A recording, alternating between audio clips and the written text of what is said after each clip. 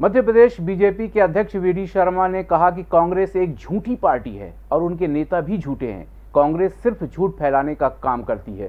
कांग्रेस की ओर से ज्योतिरादित्य सिंधिया को अजा विरोधी बताने के विरोध में बीजेपी अध्यक्ष बी डी शर्मा ने कांग्रेस पर करारा प्रहार किया। बी डी शर्मा ने कहा कि कांग्रेस एक झूठी पार्टी है और उसके नेता भी झूठे हैं। पता नहीं क्यों मीडिया कांग्रेस वालों को जगह देती है। कांग्रेस सिर्फ़ झूठ फैलाने का काम करती है। सिंधिया के बारे में कांग्रेस कुछ भी कहे, जनता उस पर विश्वास नहीं करेगी। कांग्रेस की बात इस मध्य प्रदेश के अंदर, देश के अंदर कोई मानता है क्या? कोई मानता है क्या? अंतर्राष्ट्रीय झूठे लोग हैं। दिग्विजय सिंह के बारे में दुनिया जानती है, कमलनाथ जी के बारे में दुनिया जानती है कि आप क्या हो। और राहुल गांधी जी जो उनके राष्ट्रीय अध्यक्ष थे उनका झूठ तो मध्य प्रदेश की जनता बेहतर तरीके से जानती है कि दस दिन के अंदर कर्जा माफ़ कर रहे थे। कर दिया था क्या? मुख्यमंत्री हटा रहे हैं, दस दिन में हटा दिया था क्या? भ्रष्टाचार में आकंठ डुबो दिया था मध्य प्रदेश को। तो ये इनके कहने से और कांग्रेस के कहने आप लोग भी पता नहीं क्यों क्यों इतना ऐसे लोगों की बातों को पटल पर लाते हैं? इनका कोई अस्तित्व ही नहीं है। जिनकी कोई वॉयस नहीं है। इसलिए मुझे लगता है कि ये हमेशा झूठ बोलते रहेंगे और झूठ के आधार पर अब बात मध्य प्रदेश की जो जनता है वो अब इनको बहुत अच्छे से समझ चुकी है। बीजेपी अध्यक्ष बी डी शर्मा ने योगेश मालवीय को द्रोणाचार्य अवार्ड मिलने पर बधाई दी और कहा कि सम्मान से प्रदेश का मान बढ़ाया है।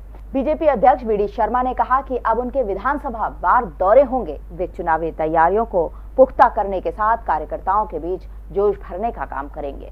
आज मध्य प्रदेश के लिए बड़ा गौरव का दिन है कि द्रोणाचार्य अवार्ड किसी भी खेल में मध्य प्रदेश को पहली बार मिला है और इसके लिए मध्य प्रदेश के उज्जैन के हमारे योगेश मालवी जिनको मैं आज से नहीं, जब से वो विद्यार्थी थे, उज्जैन के लोटी स्कूल में और इस खेल को बढ़ावा देने में उज्जैन के लोकमान तिलक प्रबंधन ने भी बड़ी भूमिका निभाई है।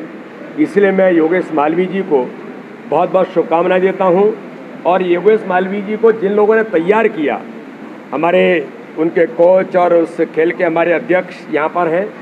हमारे लोकमान तिलक स्कूल जो उज्जैन के अंदर है, जिन्होंने इस खेल को इतना बढ़ावा दिया और भारत की सरकार ने इसको राष्ट्रीय खेलों में सम्मिलित किया, इसके लिए उस प्रबंधन को भी मैं शुभकामनाएँ देता हूँ और एक बार मध्य प्रदेश के सभी नागरिकों को, क्योंकि मध्य प्रदेश को द्रोणाचार्य अवार्ड से जो सम्मान हमारे योगेश मालवीय जी को मिला है, हम सब मध्य प्रदेश वासियों के लिए ये गौरव का पल है, इसलिए पुनः एक बार उनको बहुत बहुत शुभकामनाएँ और बधाई। भारतीय जनता पार्टी के संगठन की हमारी जो बैठकें हैं, मेरा दौरा है माननीय नरेंद्र सिंह जी का है, माननीय मुख्यमंत्री जी के अपने दौरे हैं, सिंधिया जी के अपने दौरे हैं, माननीय संगठन महामंत्री जी के अपने दौरे हैं। तो भारतीय जनता पार्टी तो कोविड के संकट के कारण से रोकी थी जरा। क्योंकि उन नॉर्म्स का पालन करना, महामारी के संकट में जो लॉकडाउन बहुत सारी चीज़ें थी Rabindranath Tagore University, formerly known as ISECT University, the pioneers in skill development with focus on creating industry-ready professionals. Join India's premier skill-based university, Rabindranath Tagore University.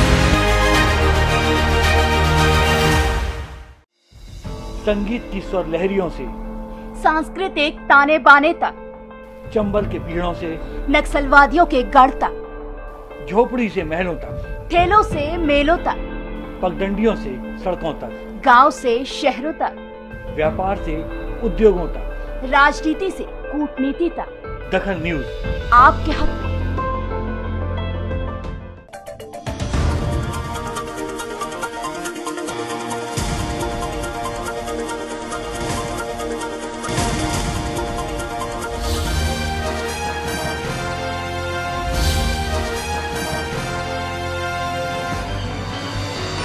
आप देख रहे हैं दखल न्यूज़।